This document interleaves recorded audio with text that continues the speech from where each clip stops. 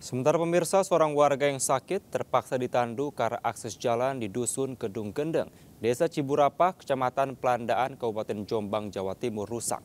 Jalan yang seperti sungai lumpur tidak memungkinkan kendaraan roda 4 melewatinya.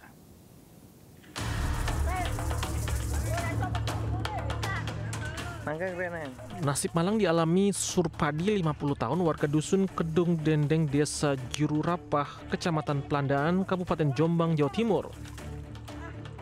Kondisi jalan di desanya rusak parah membuatnya kesulitan untuk dibawa ke rumah sakit. Terpaksa memikul Supradi dengan menggunakan tandu.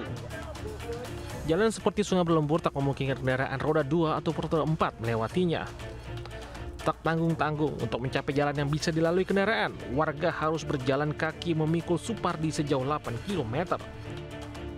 Setelah tiba di jalan yang bisa dilewati kendaraan, barulah Supardi dinaikkan mobil bantuan menuju RSUD Ploso Jombang untuk mendapatkan perawatan.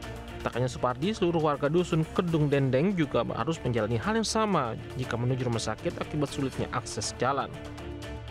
Kemarin itu ya udah parah mas, cuman karena akses jalannya itu loh mau dibawa ke rumah sakit ya gimana akses jalannya nggak bisa ditempuh pakai mobil.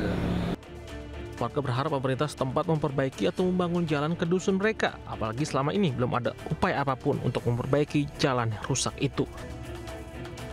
Dari Jombang, Mukhtar Bagus melaporkan.